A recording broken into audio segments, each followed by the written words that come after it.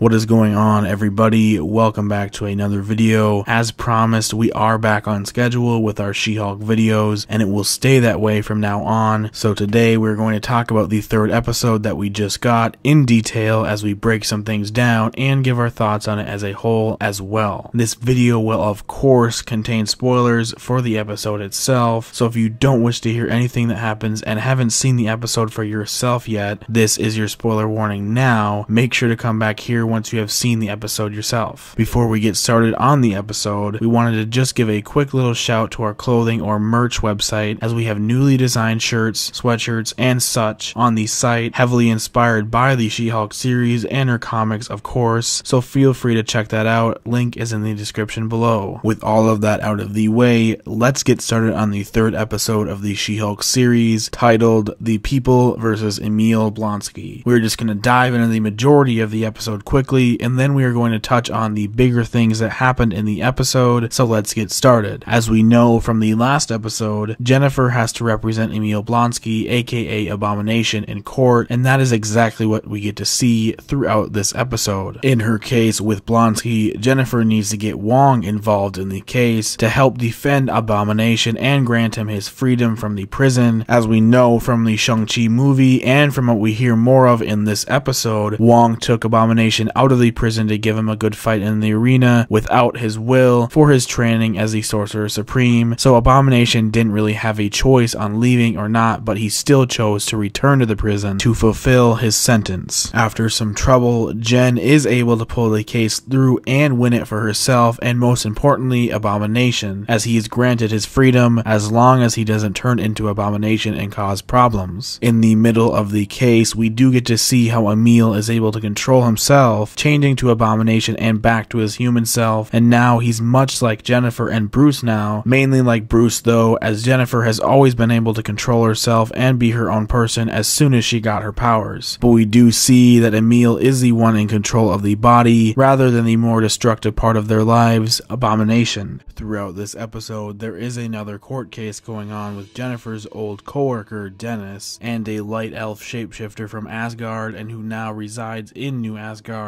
in a bunch of comedic scenes where he was tricked by the shapeshifter into thinking he was dating Megan Thee Stallion, who is a famous hip hop artist. The case between the two causes Jennifer to have to come in as a witness for Dennis, and surprisingly, it helps him win the case against the shapeshifter even after embarrassing him in front of the court. As Jennifer is on her way home, she is ambushed by a group of people who have and wear construction type of weapons that they stole from an Asgardian construction worker, which by the way, the weapons actually do represent what their powers and weapons were like in the comics, and their shirts had big W's on them to represent their team, or we should say crew, and as we hear one of their names is Thunderball, meaning that these guys are a part of the villainous team from the comics known as the Wrecking Crew. They are attempting to get blood from She-Hulk, but they end up failing pretty quickly too, and they mention how their boss won't be too happy about it. As for who their boss is, well, there were a few possibilities that we were able to think of, so let's talk about those. Just to reference them a little bit, in the comics, the Wrecking Crew have worked for and under a few different people, such as Baron Zemo after he was with the Masters of Evil and bought out the Thunderbolts team. They have also worked for the Hood, who is actually going to be the villain in the upcoming Ironheart series, so those are some possibilities, but there are a few others that are possible that we want to talk about.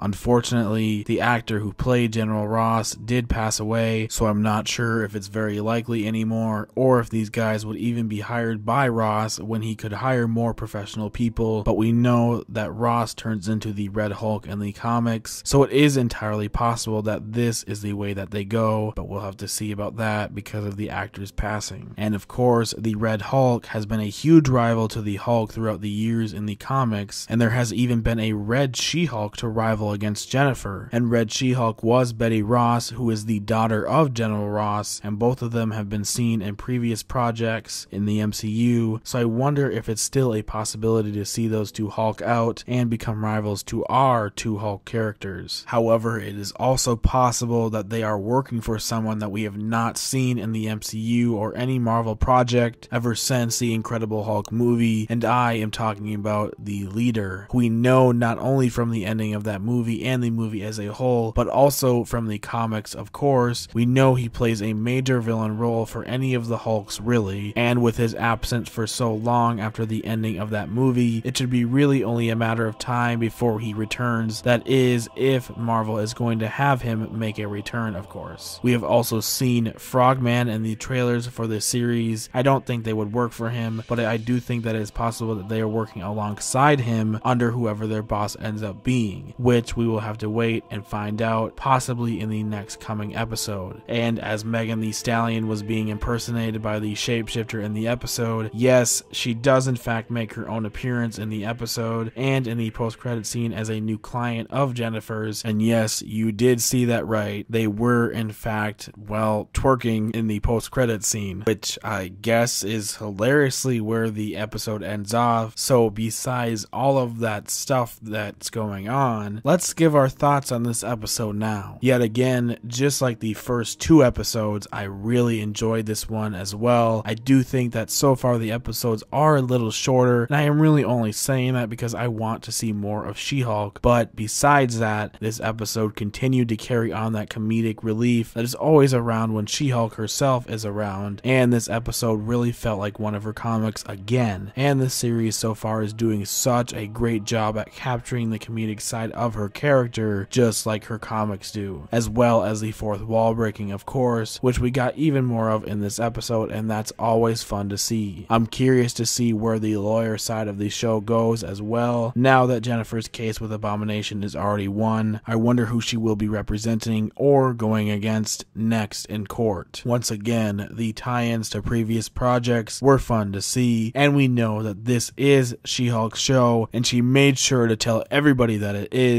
But of course, seeing other characters on the side, like Abomination and Wong, is a lot of fun. I am hoping that you all have been giving this series a fair chance, and if you have been, I hope that you guys have been enjoying it just as much as I have. With all of that being said, that's about it for the third episode of the She Hulk series. The show has been a lot of fun so far, and it's been a blast, and we can't wait for the next episode, and we hope that there will be much more to break down in the coming episodes so that we can bring you longer videos and more in depth videos. Before we get out of here, though, make sure to let us know how you're liking the series so far down in the comments below, but also with all of these new shows coming out recently, such as House of Dragons and now Rings of Power. Also, be sure to let us know if you would like to see us make videos on those shows as well. We love those universes and would love to share our interest with those shows with you guys here on the channel as well, and it would help us bring an expansion to the channel while doing it. And lastly, let us know what kind of comic related content you would like to see us make on the channel as well. With all of that being said though, as I always say, thank you all for watching and make sure that if you are feeling extra nerdy today, to hit the like button and subscribe to the channel with notifications on to help support the channel and to get more nerdy content like this. We will see you all the next time that we go through and explore the nerdy